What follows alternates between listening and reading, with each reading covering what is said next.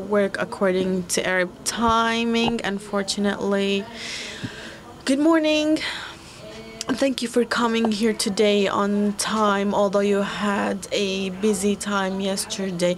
Today we will talk about cross uh, cross-border collaborative investigation, and it's the uh, fashion these days. It's the fad.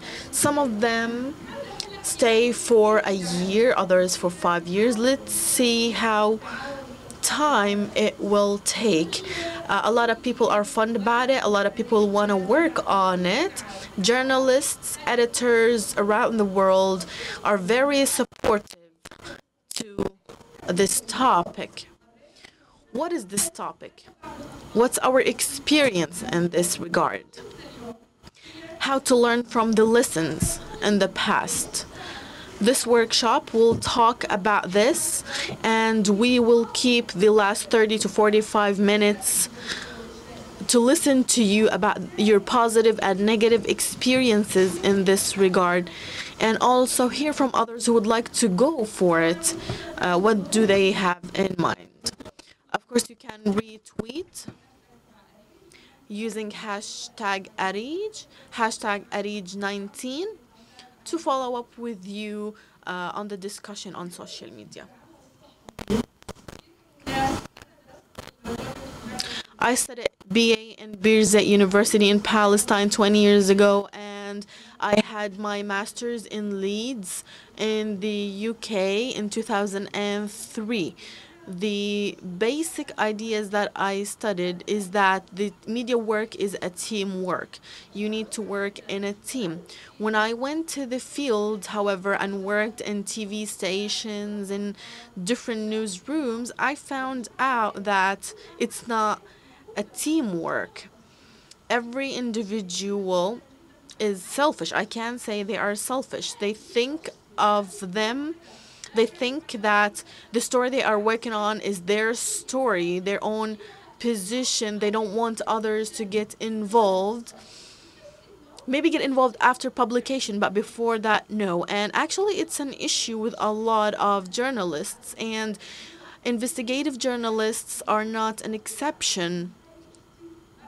They also think that their stories are their own positions. Nobody should get involved. 2010 and beyond, after all the chaos in Paradise Papers, WikiLeaks, uh, Panama Papers, editors asked journalists to cooperate with each other and cooperate with other institutions. So what we talked about was not an issue for individual journalists. It was an issue for institutions as well. So um, after 2010, we started to make institutions cooperate with each other. And there's if there's one story different institutions can share, they don't need to keep it for themselves and different institutions can publish at the same time and have the story in a different way for their own audience. And they found out that the impact is more than they expected. Looking at the real impact, this is the way it should be done. We now have an opportunity that, meaning that editors and institution heads including international media agencies, they look for cross-cultural collaborative investigation. Unlike what it used to be in the past, cooperation now is the basic thing. And it's one of the things that we need to think about in the future or for the future. The issue here is that each team thinks of itself as one of these ships in an ocean. I have my own track, and other ships, they have their own tracks. And we hope that this is the case and it will remain the case. Five, four or five people work together in a wonderful environment with no obstacles. It's a lovely life. And this is what we think or this is what we assume. But actually, reality is not the same. It's a chaos. sometimes we publish an important story or investigation and we found out another investigative uh, investigative journalist or institution haven't even heard about this story so this is an issue there we need cooperation cross border investigative cooperation is the most appealing issue nowadays, but it's very complicated. It's getting attention, but it has its own uh, complications and obstacles. Talking to investigative journalists, juniors in the Arab world, we found out that they want to work by themselves. They don't want to cooperate with others because they think that it will be complicated and they would like to protect their own stories. However, I believe that anyone of uh, journalists can be part of investigative journalism across borders. So anyone can be a part of an international team for cross-border investigative journalism. What do we mean by cross-border investigative journalism?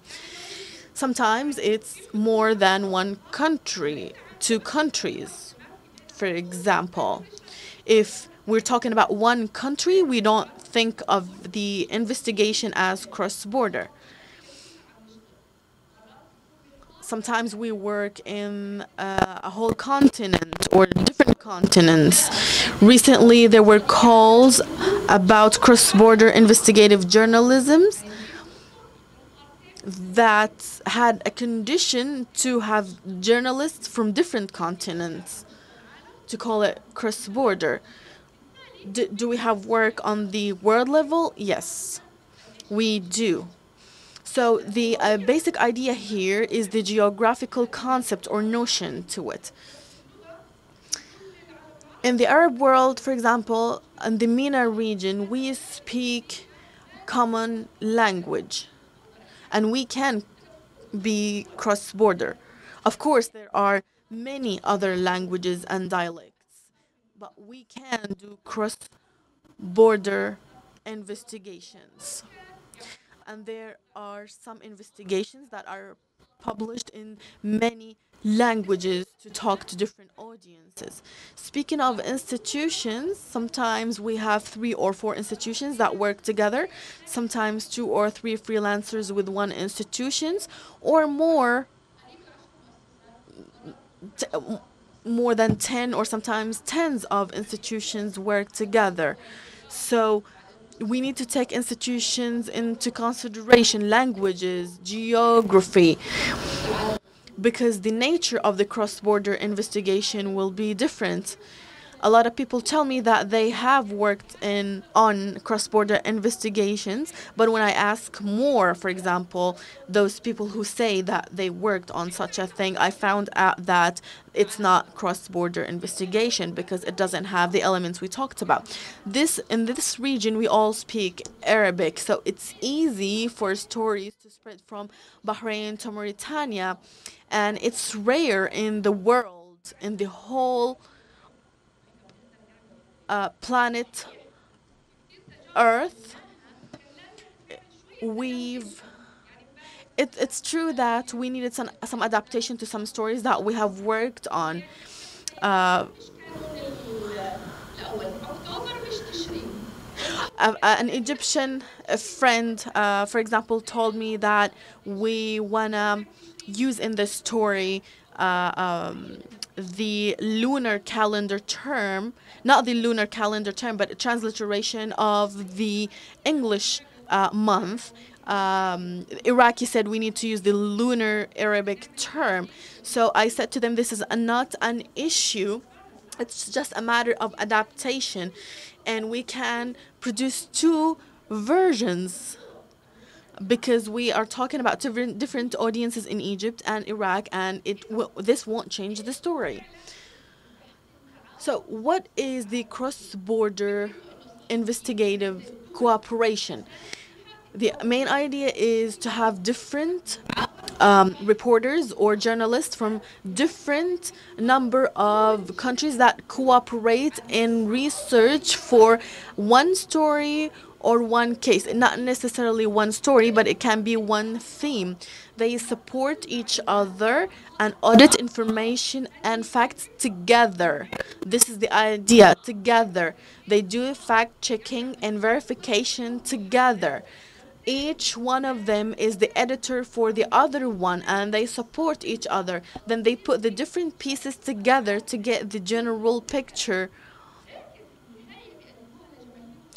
and finally they present to different audiences whether we're speaking locally in a small newspaper in a specific town for example or to the region or to the national level or even uh, on the pan-arab uh, level.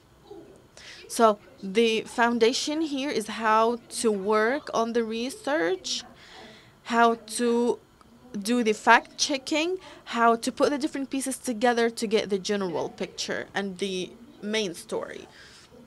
Then present the story to different audiences. Please go ahead. Apparently, there's a question or a comment, but please use the mic.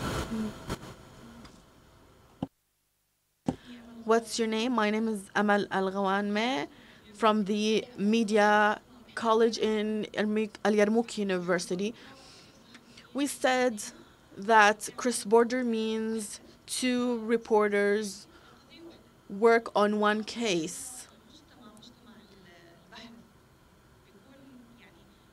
They do research to work on one story, but the research is done between two or for two communities. Well, each one of them, of the reporters, work on research themselves and they go to the field, not just behind the desk. Let's say that, for example, we want to talk about one a case, a given case like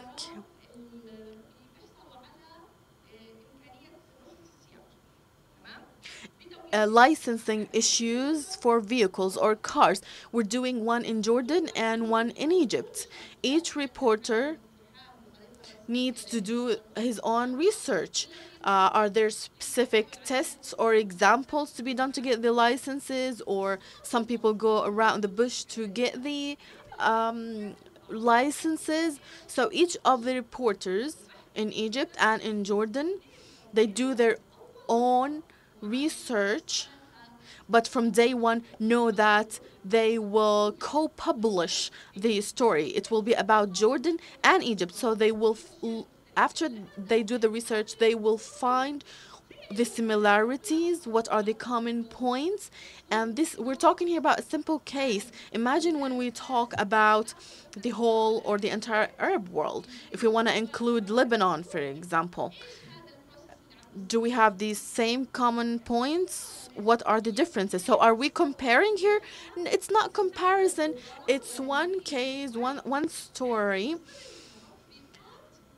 uh, one issue, but there are different applications in different Arab countries.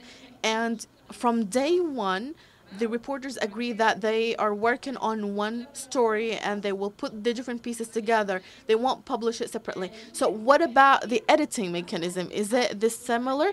In research, yes. In, in support, yes.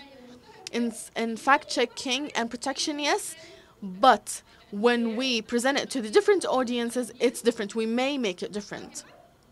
Okay, Amal? Okay. Thank you. If you have any questions, if you don't understand any of the parts, please raise your hand.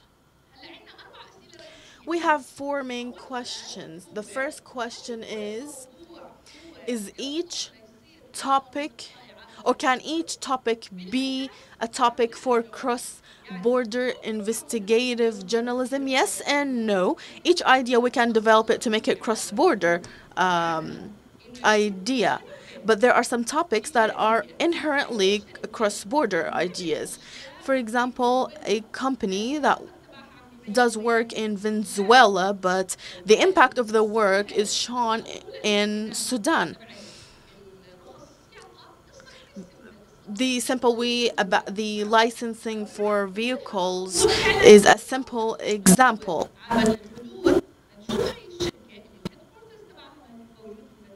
However, in the other example, the the idea itself, the topic itself is inherently cross-border. Uh, the company's headquarter is in Venezuela, but the impact is in Sudan. So I need to work with journalists um, in Sudan and in Venezuela to develop the story. Ideas are available to everybody. We here can develop 1,000 ideas. Don't say that someone stole my idea. Ideas can be stolen while processing. How? The first the first question we need to ask ourselves when we work on a cross-border topic is the topic or about the topic. How many journalists we need to work with in different countries? The second question is what's the best way to organize the cross the professional cross-border work? How they will meet whether in the first meeting or other meetings. It's preferable that the first meeting will be in person. And after that, other meetings can be virtual. So we need to think about the best way for organization. Third question What are the best ways to ensure the smooth and safe work of investigative journalists? In other words, not to sabotage to ensure not to sabotage this story and publish this story um, unintentionally because if it's exposed or in, in, exposed in one country, it'll be exposed in other relevant countries. And lastly, how to adapt the results to different platforms. Maha works in TV, my other colleague in newspaper another one in a radio. So the outcome needs to be adapted differently. So from day one, we need to make sure that the results are adaptive to not only to different audiences but to different platforms of different needs. This happened before and it was successful. So we are not inventing something that did not happen before. It was tried and it was successful the seven main steps for cross-border investigations. First of all is networking, and we will talk about all the steps in detail. The first one is networking. Second is idea or idea processing. Third, um, research team formation. Fourth, the research plan. Fifth, a second research we are focusing on research here because it's very important for this kind of investigations. Sixth, publication, which is a very complicated process. A lot of people think it's an easy thing, but we actually we start to think about it very early um, in uh, step one or two. And the last step, which is more networking and more work. So the cross uh, cross border investigations are not linear investigations. They are like a cycle that will take us back to the same to the main point or to the first step which is networking. Let's talk about networking. One of the most important objectives for ARIJ is networking. And ARIJ we need to uh, meet other people. I don't want to I don't want to see you networking with people that you work with all the time or you work with in the same country. So you need to network with different others. How? It's easy. Go and ask about your name, their names. What do they do? You may find out that those people work in a similar field to yours. And networking doesn't mean competition. We are here to complement and work with each other. So it's not this. Don't say that I don't like that person. I don't want to meet him. He works in an institution that has its own way or own agenda. Well, meet that person. It's not necessary or important that you like him. Don't feel that you are rivals. It's not the case. Networking is mainly based on confidence and trust. I need to trust the people I work with because I need to put all the documents, all the information, or all sources, of course, except for some sources because some uh, because some sources are very confidential. Only the editor and the reporter or journalist need to know. So sometimes it happens. Other than that, we should not hide any information. And trust is very important. We build the trust. Trust is earned. We need to go together through different or, or all different experiences to make sure that this person or this colleague is trustworthy. One an important step to pay attention to is do not steal your colleague's story. If you have this in mind, do not go for cross border investigations.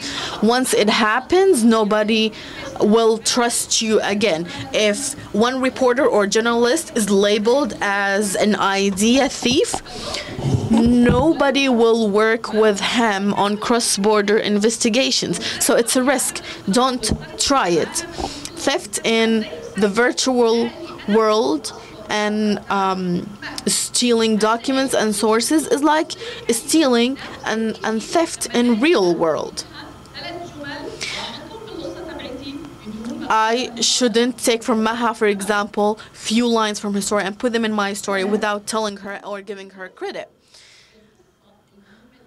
In addition, we should not make any secrets in this story. We should not hide anything from our colleagues because we may need uh, because this will change the whole story in the future and it's happened before it's not something that i am making up here. It's happened that one person tried to steal a story and publish it under his name.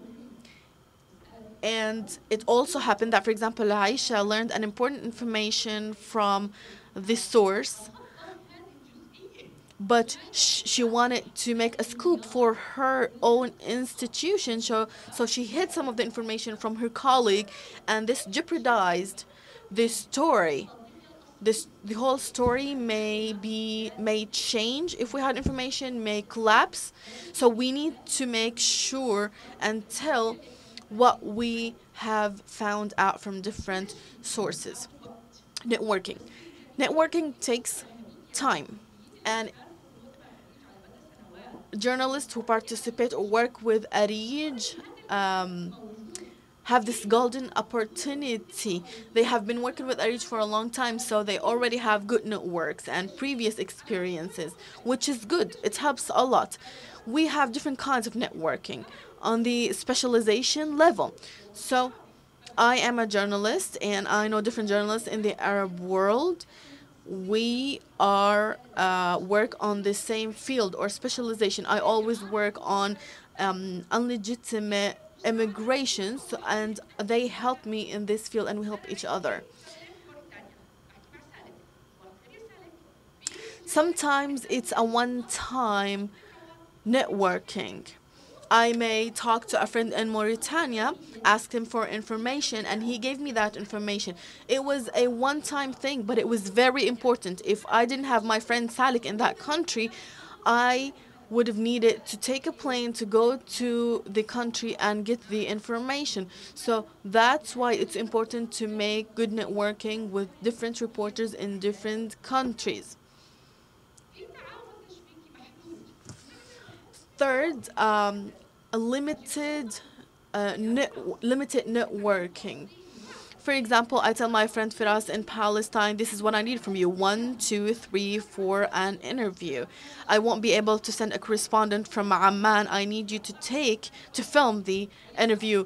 Um, this is the person and these are the questions and this is why we want to do it in order to get him involved in the discussion, understand the discussion and it wasn't as simple as a phone call. He actually worked hard on finding or getting our story. Also, we have another kind of networking, which is a broader networking. and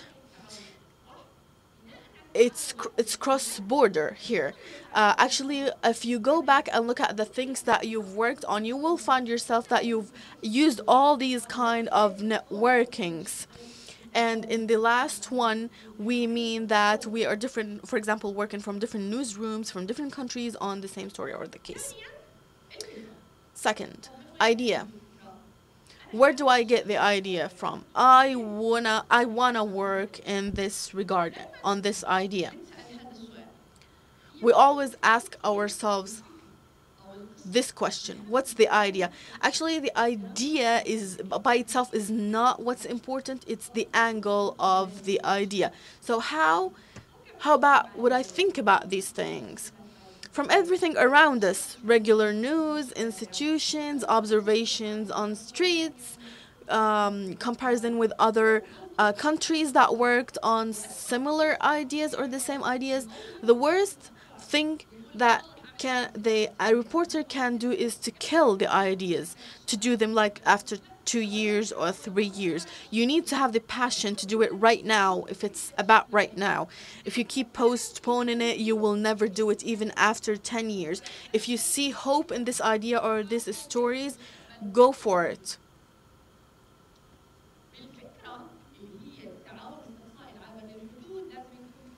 Ideas in cross border investigations, we need to think in a win-win situation mindset. We all, all reporters need to have the same passion to make sure that their it's their own baby, their own story and their idea. Sometimes journalists feel or make other journalists feel that they hire them. They are not there to cooperate. So some journalists make others feel that I have this story done, but I have this very secondary or minor part of it. It's not related to the main thing. So would you please look at it? And this is not cooperation. This is not a win-win situation cooperation. This happens to foreign reporters who come to work in the Arab world. They tell Arab reporters that we are working on a cross border investigation invest, uh, reporters in Sudan, for example, work on a small part, and foreign reporters in Finland, for example, work on the majority of the story, and they call it a cross-border investigation. Actually, it's not, because different reporters and journalists need to be effect equally effective and equally work on the same story. Any questions? Please give her the mic.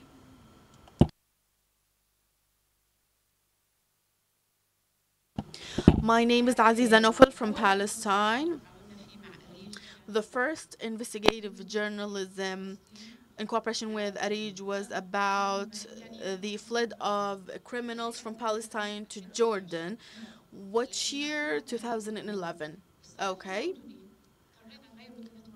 We had to change the Jordanian journalist three times because we were looking for a journalist who was able to get information from the security uh, from security agencies, but some of them withdrew.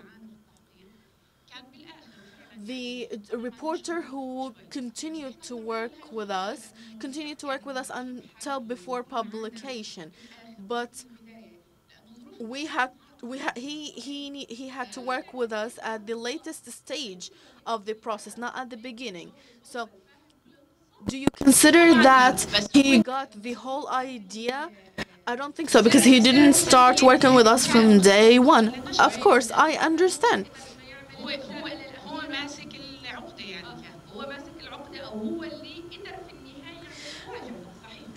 But with the information he got, he made the confrontation uh, possible Actually, we had to get information from the Jordanian authorities, and we got them. So, what's your question here? My question here is you said that we need to have people to work with each other from the very beginning, from step one. but sometimes there are complications that we don't foresee or we don't understand. So I didn't understand complications of media work in Jordan because we haven't met with each other from day one. Uh, right, I understand. So this is an important point. Yeah, I understand. So if we understand complications or the media situation in Jordan, we would have been able to face these situations and find solutions. Exactly. I understand that cross-border investigations are expensive and costly and sometimes we you may need to meet in a third country not in Jordan or Palestine but it's very important to have a plan and to meet. The research plan is very important and commenting back on what Aziza said to us the, the the plan is like a straight line but on in reality it's not a straight line. There are obstacles and uh, um, complications. If it's a straight line beautiful line with no obstacles we can publish hundreds of investigations per year so let's say the conditions for the research team. The research team that we want to compose uh, is should be varied, varied experiences. The more experiences it has, the better it is. This means we we need a reporter who's good in data, another one who understands the story, another one who has access to this case. The wider the variety is for the team members, the better it is. So it wouldn't be it wouldn't be okay to have somebody who even if he's or he or she is working on a story in the Arab world and then finding the team made up of four people none of them is speaking English. This doesn't work at all. Language skills are essentials we should have English. I do not understand an, uh, if an investigative journalist doesn't have a second strong language. And I do recommend you, if you want to develop yourself, to strengthen your second language because in Arabic you cannot have access to sources and access to the real databases that you can view even with uh, Mr. Google, even using Mr. Google. It is very weak but in in Arabic it's very weak. But in English, French, German, it's much better. It will be of more benefit. Also, a specialty. I need somebody understanding the legal background of a certain story, somebody having an experience regarding the health aspect of the topic I'm working on. The but the more that I had that person right from the beginning, that would strengthen my stand because it will strengthen uh, my research. In this phase, do you remember what we said a little while ago about these points? In this phase, the research team, not in a later phase, here we assign the date of publication. This is a really important point with a lot of problems that happened before. We try to benefit from this experience that throughout this phase, do you see over here? We should assign the date of application by this phase, we would have a clear perspective. When are we going to publish? Because, for example, uh, within three months we will publish, within four months we will publish. Why is this important? Because throughout many experiences, a lot of real problems happened due to postponing the publication date. If you postpone it for the first time, then that's it. It will be endless postponing. So, regardless of all of the pressures that you will face, all of the obstacles that you will face, you should stick to the timeline. For example, Layla has a TV show on Monday, but we have decided on the 29th of uh, uh, November on the uh, uh, on Friday. And then she would be like, Oh, but our show is on Monday. Please just postpone for those three days. And we, we would say, No it's on the 29th it means on the 29th. You cannot keep um, lining up with all of the institutes and agencies. In one country, the, we, we may have uh, three uh, TV stations uh, for newspapers, etc. If each one would ask you to postpone, then it will be endless. Another Point number two, choosing the partnering and participating countries and also the media platforms in order to make an influence. So I should start networking uh, uh in within this phase, if I'm not publishing in my own name but in the Guardian, the Guardian would say, uh, like, we will be publishing here. If we are in one, two, three, four, line heads up. After two, three months, we will be coming up with this story. It is really important to assign and identify and identify the security methodologies for the, the investigative journalist. How are we going to communicate? Coded emails, etc., etc. All of these points should be assigned and identified throughout this phase. We're not going to talk about the Facebook or Messenger for anything at all, not even an introduction and networking, not even. I don't want to see all of you all of a sudden adding each other on a friend's Facebook. Come on. Any person on this earth would doubt and suspect why all of a sudden they became friends on Facebook. Okay. Now regarding the action plan. Okay, we sat together, we meet, we met. Now we have to develop the action plan. My core recommendation, even if we cannot do it all the time, but it is really preferred to gather everyone working on the story should sit on the same table, eye to eye. If you ask me why, and there's technology, no. Face to face is unmatchable. So this is the hypothesis. Uh, for example, you will be discussing this is the hypothesis of our case. These are the data, etc., etc. Then work division. Who's going to do what? We don't want to do this uh, rush reaction uh, and or, and overlapping and duplication. No.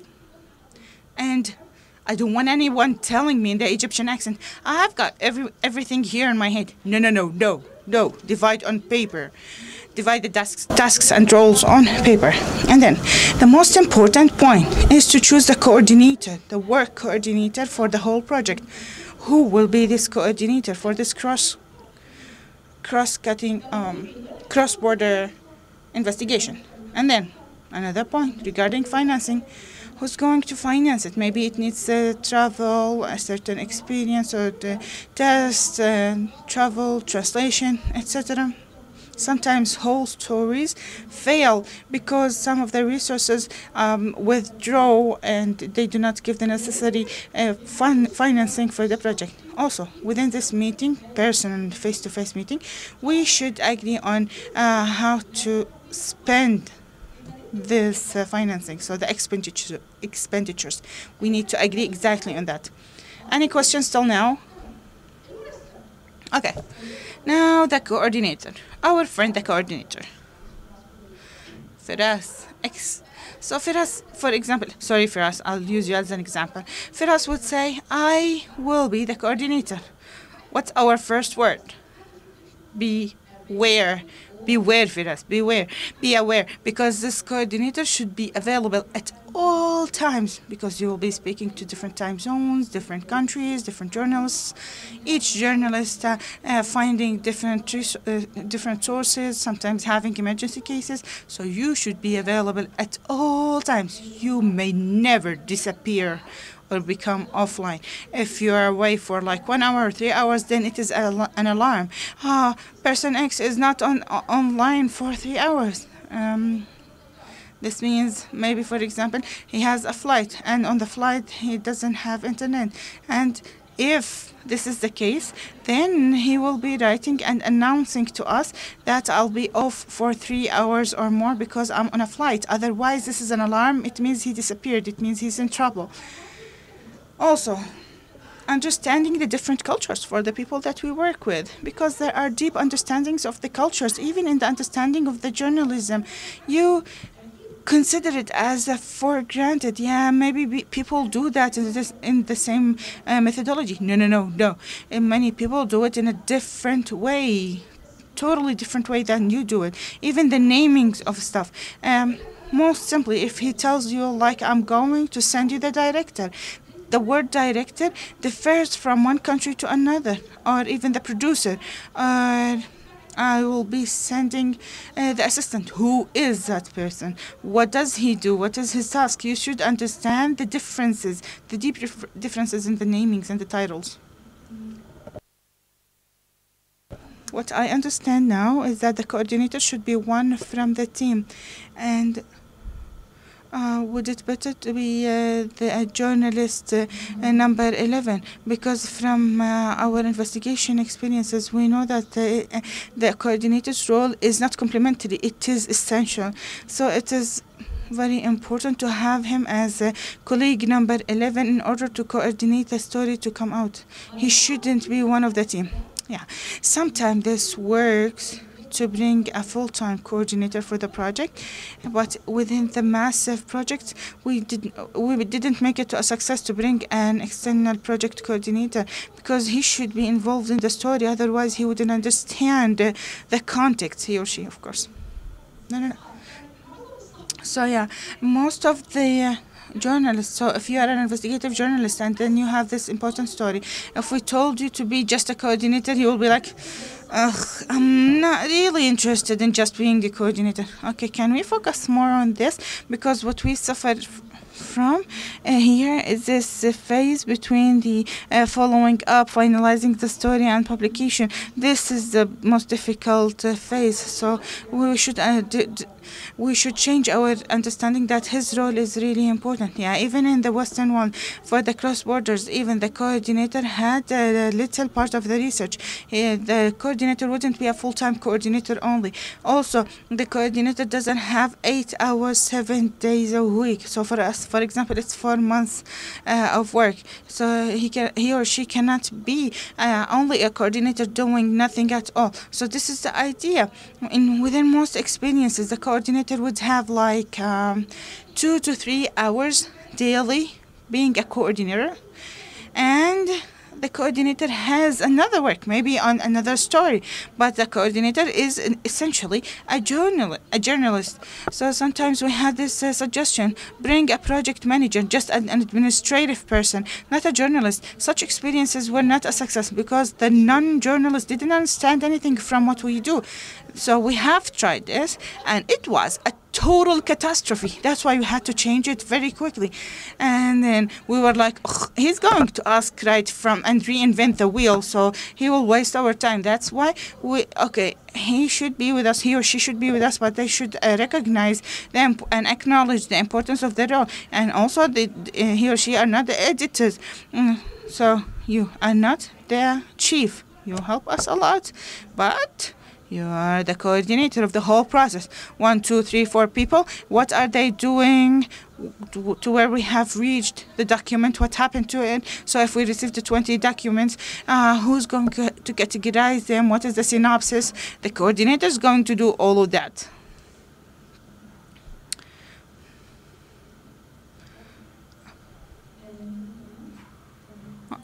So, I work in a lot of joint and participatory investigations between myself and also the uh, the person who's updating the Google Drive, etc. But maybe in the cross cross border, maybe in order just to eliminate the idea of having an editor manager, uh, maybe the coordinator can the coordinator be the editor of the story, or that's also not accepted also not accepted. Did you understand her question? That the main editor is the coordinator for the big story of the of the big picture. No, because not. So this goes within uh, some a certain phase in a story, but usually the coordinator is either a journalist or a producer if it's a TV investigation. But it's really important for the coordinator to motivate people, to thank them for their work, if um, to ask and check on the people. So the coordinator should act more like a psychologist. Uh, if he or she will assume that position, if he cannot do that, then apologize. Do not assume the position. If you assumed, if you took the position, then you should fill your the, the all of the duties. So also, the coordinator is not in the field. And for example, the Algerian, uh, the journalist in Algeria tells him that this is impossible. So the coordinator may be recording a historical mistake, pushing the reporter, the field reporter, no, try, go to the limits, push the limits. But no, that's a historic mistake. That's why that's why it's it's really important to have the journalist understanding the field and we should trust his or her field decision making capabilities and also to trust the journalist and the reporter uh, if he can or cannot do the work. So the person in the field regarding his or her own safety or security, telling you I can or you cannot do that. You should trust, give them all trust. Also, the organization and the planning are essential. If that person, if the coordinator is chaotic, that wouldn't work. Just cancel them. So if we have uh, like 50 people, we cannot have them uh, within one working group. Each five or six would be within one working group, and also arranging periodic communications with them. It's not only this uh, group, the Latin Americans talking in Spanish, who forgot them totally from this project. No, that cannot be the case. We should ask them and communicate with them like on a weekly basis. What happened? What happened with you? What are you doing? What's the plan? What what's next. So uh, the coordinator should give an update, a weekly update of like what's happened to the story. We we are here and we are there. Also, do not leave the editor in the darkness and say, I'm the Superman and I will solve all the, all the problem. No, if there is any problem, please notify the editor or editors with what's going on. That, for example, there is a danger, there are challenges that we may take out or extract uh, our reporter. And also, manage the expectations. You cannot say, oh, we'll get the moon down to earth. No there are reasonable expectations. This is the minimum limit and this is the maximum limit of the stories. We cannot magnify the maximum limits 10 times tenfold. Also, share all information with the coordinator, except in certain cases uh, for the confidential sources. So, we share the information, but not the source. This applies also for the victims, their photos, the things that we are going to um, put the picture in a, a in an unclear manner. Also, then coordinate, and then in the middle, and then the finalize finalizing. خلود مصالحة I do understand the trust between the team, but how can I trust my uh, colleague if he brings me uh, a source, an, uh, an anonymous source? And this is really massive. This is becoming massive. This is an increasing phenomenon. Uh, so the trust between the team members we should be to the extent that we know the sources uh, of our of each self. In order to protect your colleague, do not tell him your secret source. No, this is to the editor. So if you are a freelance working within your small group, then the editor knows the source, but your colleague in another country with another editor uh, under another agency, it is not a weakness of the trust, it's a protection for the source. The source gave you the information, Khulud. You cannot, in any case, tell about that anonymous source uh, for anyone else but you have the trust in the editor and in the agency that you're working for. That's the reality of our work but we cannot work with all of the 30 um, we cannot share the source with all 30 uh, reporters that we work with cross border it's really important.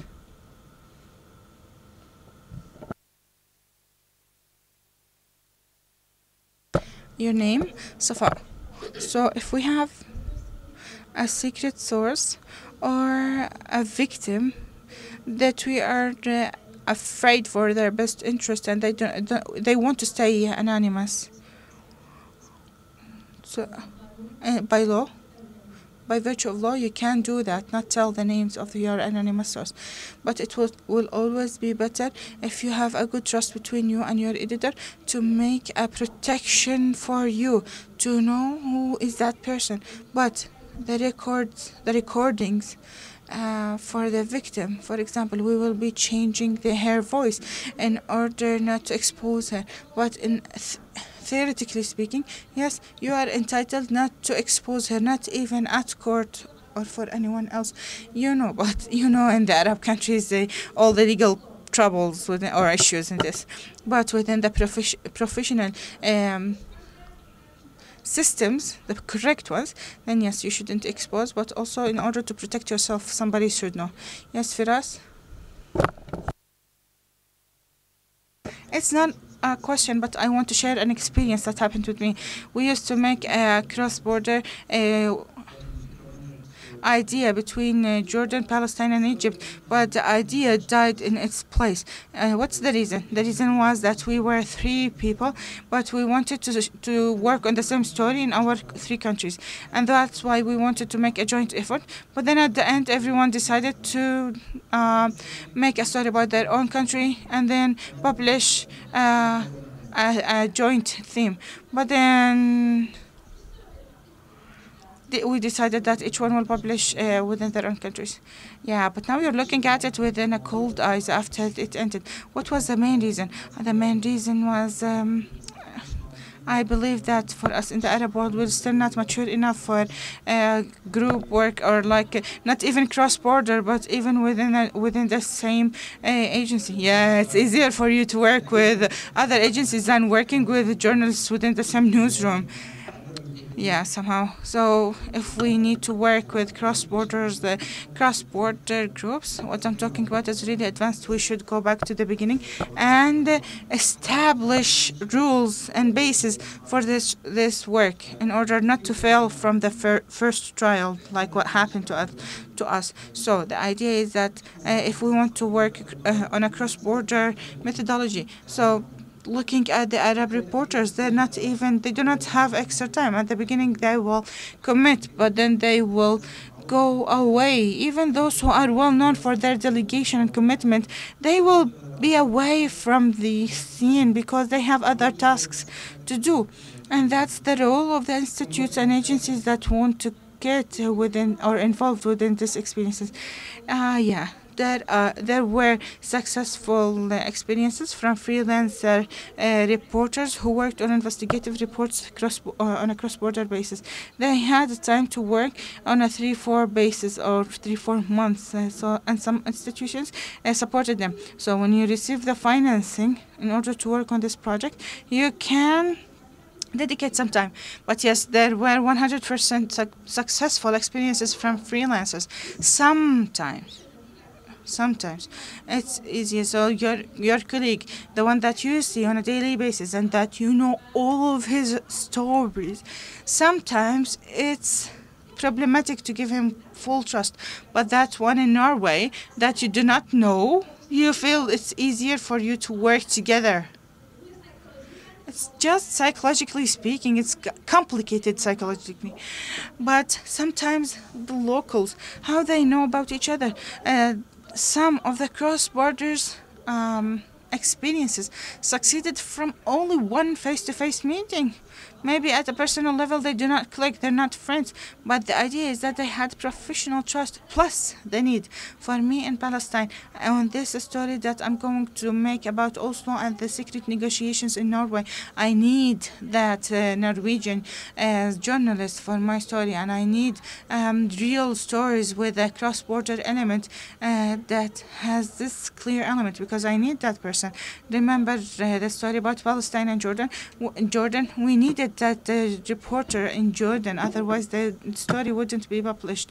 This need establishes for the trust. Can I continue and then take the uh, questions at the end? Please write them down in order not to forget your questions. If this is urgent, really talk. Uh, I think that in the cross border investigations are more successful when uh, an agency is responsible for it.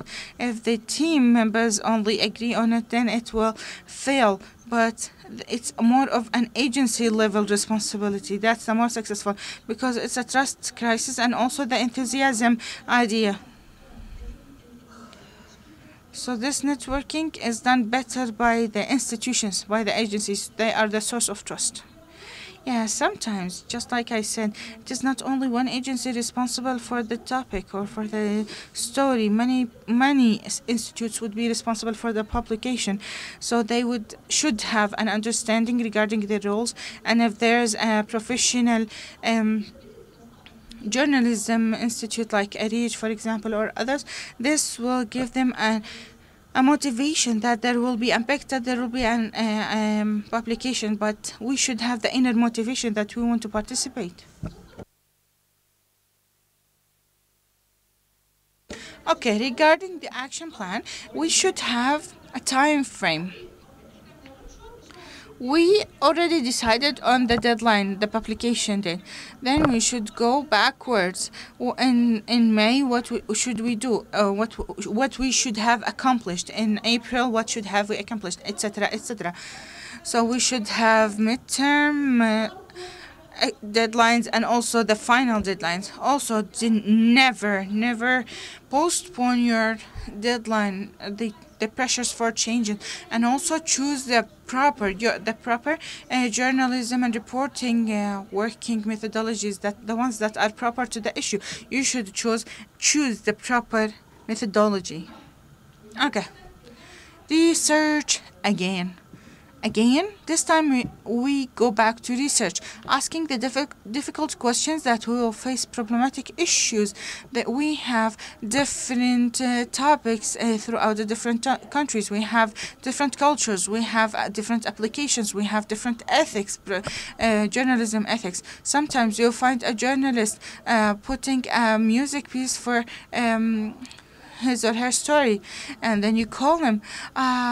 Did you take the proprietary uh, approvals for this music? He would he would go like, um, what do you mean? I just took it off the internet.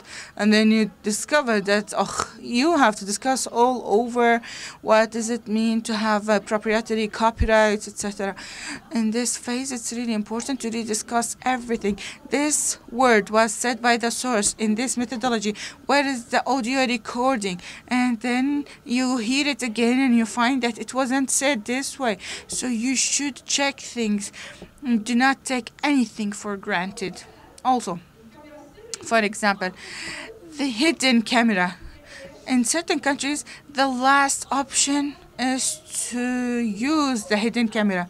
In other countries, they get, ah, our first choice is hidden camera. So come on, come on, you should agree on those things within the application, and uh, within the investigation application uh, uh, in practice or reality. Also, the narrative, you should know, like there are uh, very weird and funny introductions written by the journalists, and then we discuss the story, the storytelling in the different countries. Uh, defer. Okay. In this phase, that'll be you. Do not be surprised. Do not be shocked. Do not say, oh, the one, you got us into trouble. No, you will fight. But on a at a professional level, do not take it personally. I'm not mad at a person and that's why I pick up on him and make problems. No, no, no. It's about that story. It's about a certain obstacle. It's not about a person. That's why we should sometimes we will be shocked. Sometimes we will not be receiving uh, the document. For example sometimes we would be waiting for one month and then we receive a document that is totally irrelevant or didn't expose what we want. Also discussion then discussion and discussion. The most important thing in this phase we should talk together. What is the important thing in this story? Each team and each platform should be audited and checked. This is really important and significant in the cross-border investigation. If you have more than one to check the facts and also the legal protection for each team for each member and for each publication platform because within the countries of each platforms uh, within the country uh, under each publication platform they have certain laws and regulations so not everyone can publish everything. That's why you should have like law uh, uh, lawyers uh, for example working uh, um, for example if the publication is going to be in denmark france and uh, other and Britain, then you should have at least three lawyers to check the legal stand uh, for them. Okay, regarding the publication, there is no one size fits all. When the, within this phase, each platform would uh, work towards its target audience, uh, to, would work to on their story. Yes, the research is joint, but at the end, the stories may maybe we get like 50 stories from one research. This is what's beautiful about such cross-border investigations because they are at an international level because we have hundreds of local stories that had an impact. A real one. Storytelling is a, a storytelling is a story in its own. You have like the uh, expressions, the language, the the speed of it. For example, in Iran, it's really slow. If you if you see their movies, oh my God, you will close the TV in the Arab countries because we like more speedy things. But for the um, German and the France, uh, they told us that they are they have started to work on the 16 seconds uh, video. That here in the arab world we are uh, uh, we say that we are doing a one or two minutes videos. They have reached the 16 seconds videos. So we totally differ and we should uh, um, target our audience uh, properly. Maybe if we make the one minute maybe for the same investigation we will make a, a one minute video. France would make a 16 minute video and iran would make a five minutes video. Also we should respect the local reporter and his knowledge of his audience. I did not know um, if if that reporter tells me that from my experience this will have an impact then i will respect his experience. I shouldn't impose upon him uh, things that i think it's better Sometimes we need to do additional research to connect it to the local context, and we need to help them audit or uh, check that small part that will be added to the general story. Cross border cooperation works in circles, as we mentioned. The last step in follow up is very, very important for new and further networking. So, how, in other words, how can we make new networking for new work that we can do after a year or two years from now? It's important to say that we're equal. When it comes to publishing names, we're equal. Sometimes, because we have a lot of people, we don't publish the names. If we put them on the website, we will have like 50 persons. So sometimes we don't have enough space to publish all the names of the reporters and the people. But if you ask every one of the reporters, they will tell you, every one of them will tell you that this is my investigation. He knows that there are other people who worked on it, but this is their feeling. Every reporter feels that this is it's his own or her own baby. Maha would like to say something. Recently,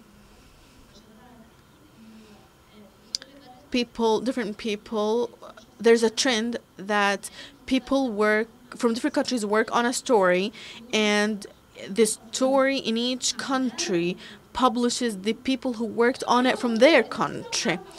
Actually, if this idea is acceptable by all the parties, it's fine. So what Maha is saying that the Yemeni reporter mentions his name and that he worked with ARIJ. Other reporters mentioned the, their name and the people who worked from their country. So I think that if it's acceptable, it's fine, but I believe that it should be the names of the persons or the institutions. It shouldn't be a mix. I think if it's fair and acceptable, I think it's a good trend or approach. We will go back to other questions and comments, but let me finish here. We need to have a code of conduct from the very beginning. We need to work on it. We need to agree on it. We should make sure that we agree on it, not we think we agree on it. We we need to believe that we have agreed on it. It's highly recommended that the investigation takes from 3 to 6 months, especially cross-border investigations. Otherwise, it will be very time consuming and effort consuming. Some investigations lasted for 8 years. I know that and they were successful. However, in normal circumstances, 6 months should be the max and we should be in the uh, uh, publication process. And this is what happened with the Panama and Paradise Papers uh, before. Benefits. You won't travel, of course, to the 50 countries. We have different reporters and journalists in those different countries. This is one of the benefits. Common mistakes. We talked about foreign journalists. Another mistake is when we have a lot huge pieces huge pieces of information when you get, for example we got a leak one of the mistakes that happened in 2015 2016 that all the data went to all the parties. So we all work on the data on the same uh, um, way so we're wasting time and effort. Now we need to uh, divide data, clean data, and send the different clean chunks to the relevant countries to make sure that our work is not duplicative. It's very, very important on the personal level not to waste the time of your colleague or the coordinator. Um, even when it comes to uh, half pieces of information. Those small informations that you think are not important are very important. When you have the lead, you need to share it with everybody and make sure that this is a good lead. Do like a search for a day or two before you present it to everybody else and share it with everybody else. There are different reading resources for who are interested.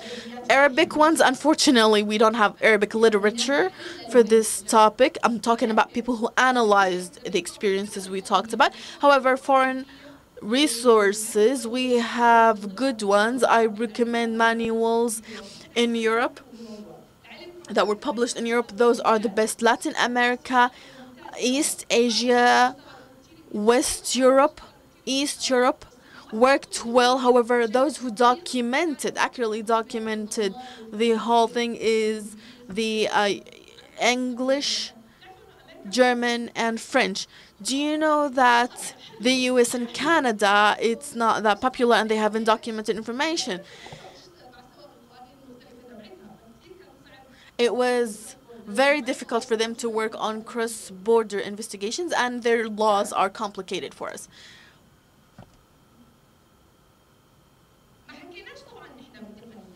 We haven't talked about techniques or funding, but you understand that we need to talk in detail about them, and we have we're talking about different cases here. However, let's take questions first. Who would like to speak? Please, in the back. What's your name? Hana Abu Hajiya. I'm from Bahrain. I'm an independent journalist. I think you maybe talked a bit about the question I have in mind, but I would like to ask you for your opinion or to have a theoretical answer about my question. I work on a um, labor rights case and I'm working with a colleague in one of the Asian countries from where we get the laborers. I have the issue in my country, and he has an important role to review all the laws and, and procedures and let me know to see what is legal and what, what it's not.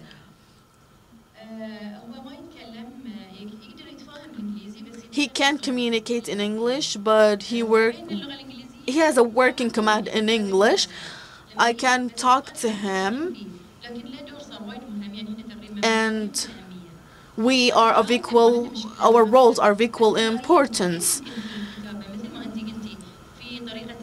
And I'm getting good information from him, but how should I write this story? You said that storytelling can be different from countries. He will give me information in Arabic, and then I will put them in my story. And maybe we will translate later into English. But in theory, when we have two people and they have their roles are equally important, who will write? So each one of you will write to their own audiences or to their own country. If it's important that if he wants to publish in his local language that you don't understand, that you work with translators and interpreters because you need an, a professional one because you need to take accurate information we want to make sure that we avoid anything lost in translation. You're working on a working command of English uh, forum, but we need to make sure that we have accurate words. Well, actually, uh, what I write is important. What he writes is important about one story, and we will put two names. I understand. As far as I understand, you will work on what we call a master story. You will have the, like the big one that you will publish.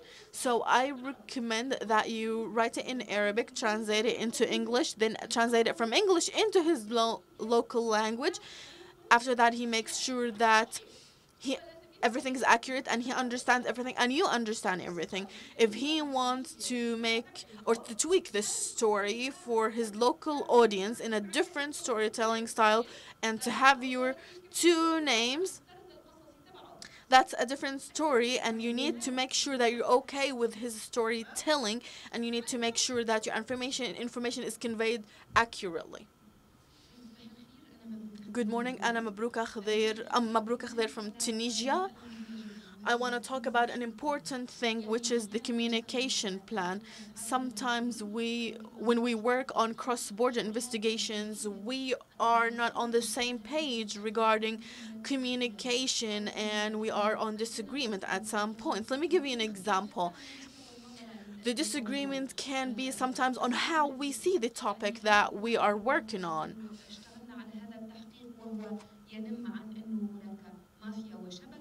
Let's say that the issue we're working on, I think that mafia is included. Others think that no, mafia is not included.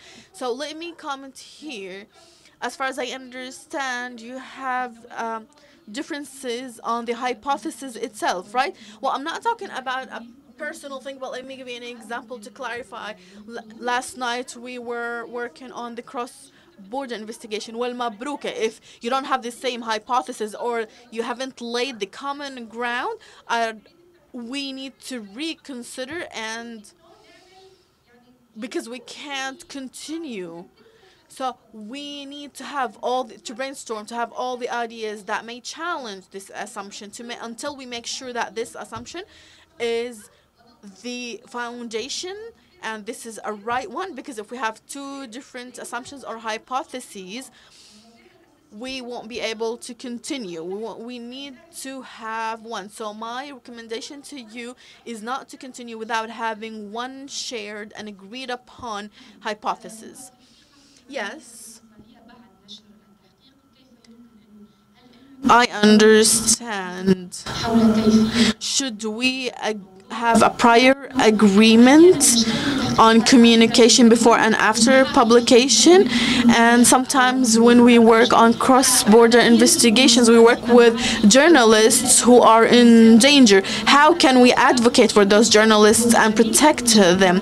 Another issue is the language. It's important to work on cross-cultural, cross-border investigations on different languages. I worked with others from French on, from France on, um, on the language language is French and others uh, with the English language.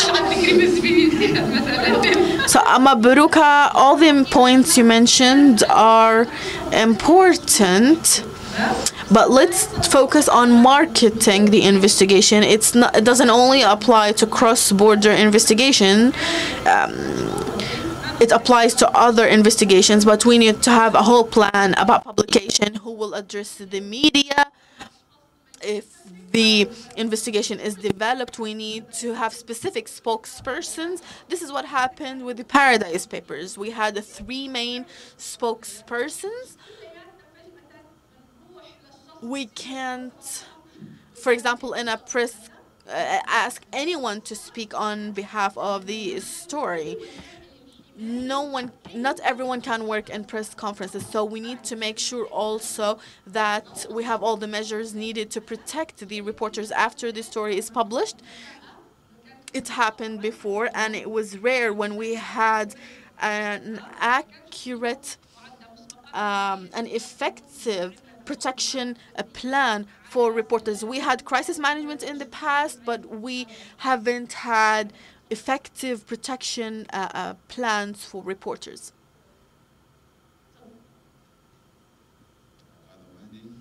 I am Mahdi, reporter from Darfur 24.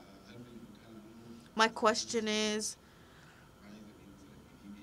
I'm from Sudan and I, let's say, work with a reporter from Libya on one investigation. Can I uh, follow up with them on what he works on and what are his tips. Yes of course you have to. So he works in a different language and i work in a different language.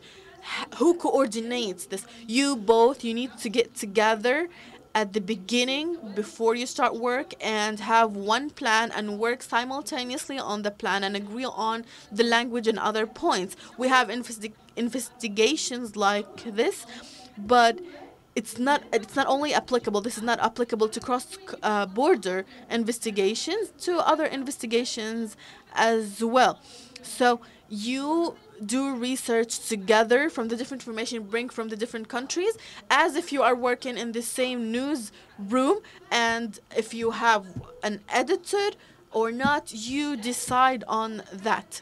So but we prefer not to have two only because if they disagree what's gonna happen? So make teams of three uh, two reporters one researcher. So in case the two reporters disagree, we need a third person, at least a third person, to decide on what to do. So do not make a four team, a four person team, make a five person team, for example. Uh, please give the mic in the back to my colleague. Fuad Falousa from Morocco. My question about is the fact-checking phase or the auditing. Let's say that we are done with the investigative story, but we need to make it more credible, especially when we talk about political issues or one of the team members has a particular political affiliation. So I need to be neutral. Sometimes we are not.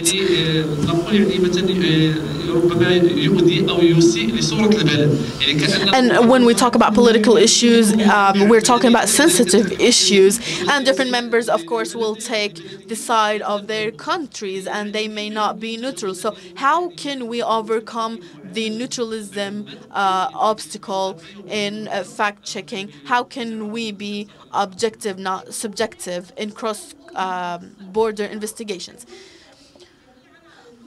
So we need to make sure that we agree on the language, on the rhetoric that will be used on the master plan. But we can't control local stuff. For example, if we have Algerian reporter who uses a specific language that Morocco considers is an offensive language, and you are part of the team, let's say, you may be blamed to participate in this team if you agree for to publish the story in that offensive language to Morocco. So you are you participate in the master story, but you are the main person responsible on how this story is published in your own country. And we may not be able, or we can't actually follow up on local on the master stories when they are published in local languages. So you have two roles in the master story story to participate and in the local story to make sure that the language use is appropriate to the country specific. But at the end, it's not an UAP, it's an investigation. We need to make sure reporters are eh, are protected. But if you have your concerns, that you should ask to have your name published in the master story, for example, or the local story, and only or both, but not in other stories published in other countries. I have worked on cross cult uh, cross-border investigations and in Western in the Western world, we have they have their own media system, and we have our own media system in the Arab world. I worked on a story for a year, and I was not able with my team to publish it. Uh, colleagues in Britain felt upset because we were in danger. So how can we bring uh, the West, the media system in the Western world and in the Arab world together and to harmonize between them? Ahmad, you said you have a master's degree in the media field, but if you if you can't um, solve the issue, this is an issue. No, actually, my master's was on a different topic, and I focus on uh, access to information which is a different thing and i'm still working on my master's uh, degree. I have i'm not finished with it. So my friend let me tell you this. The media system in the arab world is from bad to worse. Um, actually we don't have a system. We used to have a system in the 90s to 2011 we used to have a system. After 2011 everything we built for the interest of the system was killed. So we don't have a system. It's not fair even to compare between the two systems in the different parts of the world. And sometimes we ask for no publication to protect the lives of reporters and other colleagues in other countries uh, should understand there's no story that is more important uh, than the reporter's life, regardless of the time, effort, and time consumed. Sometimes in some stories we had to use unreal unreal names, fake names. But sometimes we need to kill the story. In 2019, I don't have an answer for you about this system, but if I learn about if I learn an answer in the future, I will let you know.